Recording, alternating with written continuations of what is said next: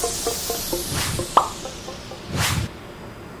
Hey guys, Balkan Architect here, and in today's video we're going to be talking about a very important topic. So one thing that I hear all the time by people who don't really use Revit that much, or they just heard about it but never used it, is, well, I would like to use Revit, but you're going to do all of the details in AutoCAD anyways, so why would you use Revit in the first place? And it's really annoying because, you know, you can do everything in Revit. You can do all of the details in Revit, and to prove that, the topic of this week's Advanced Balkan Architect course is going to be details in Revit.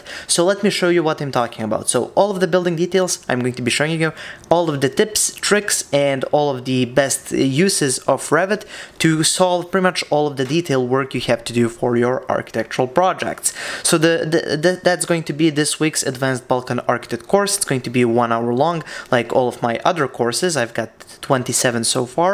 First, a link in the description to my Patreon, and there you can get access to all of my my advanced courses as well as all of my project files.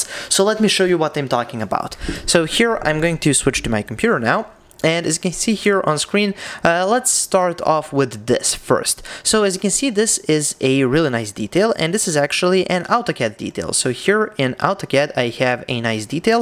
So maybe you're working in a company and you already have some typical details that you're using and reusing all the time and you already have it in AutoCAD. This is a very uh, usual case. Usually companies go like work like this so they really reuse all the details. Maybe they tweak them just a little bit and then they reuse them all the time. So let me show you how is that done in Revit. So if you have a CAD file like this one, I will show you inside of this course how to insert it into Revit and if you have if you have to make any additional changes, you can do that inside of Revit. So as you can see, this is completely exploded.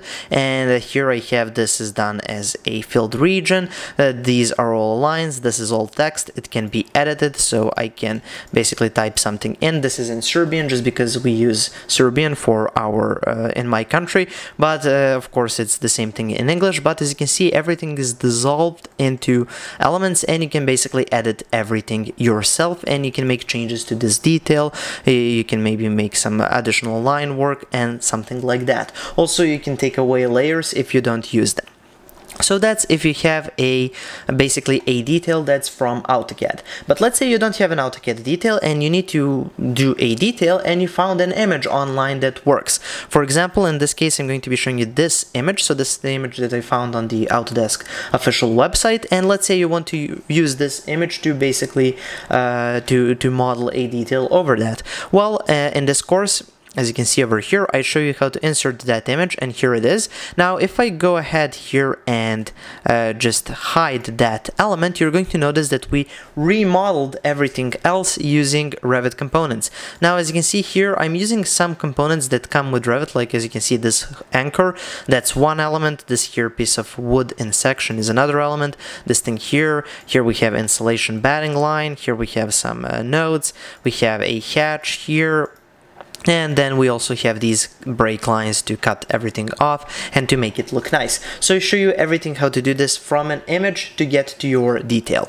Now this is using drafting views and drafting views really allow you to basically create a detail that's not connected to your model in any way. Now this is for doing details that you're reusing all of the time. So you're maybe doing similar projects in your company and you just reuse all of your details. So th uh, these drafting views and uh, you use them like this so that's what I show you here. But let's say you have a new detail. You're working on a new project and it has a new interesting detail. So how do you solve that? And for that, I'm going to be using my project uh, over here. This is one that I have a complete course about. I have a five-part course that's also on my Patreon. First link in the description. Anyways, so this is the, the project and as you can see, it's pretty detailed. But when you look in over here, as you can see, uh, we don't have that much detail for a detail view.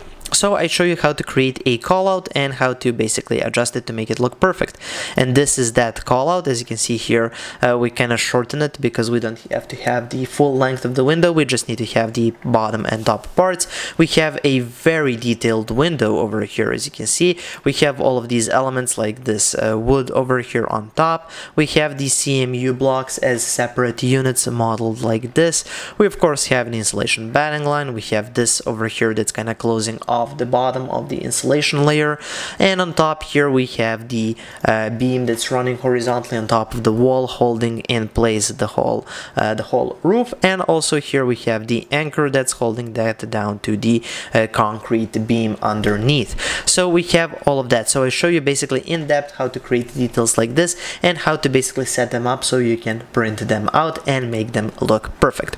Okay, so that's the topic of this course. It's one hour long. Also, I have 26 more courses that are over one hour long. So if you want to check that out, first a link in the description to my Patreon. Also there you can find all of these project files, the two Revit files, the CAD file, the image, all everything that I use for my uh, YouTube tutorials and advanced Balkan architect courses can be found on my Patreon. So all of those files, over 300 files so far. Okay, so that covers this little quick introduction to this week's course and I'll be back with another regular Balkan Architect tutorial in a couple of days. Thank you for watching and have a nice day.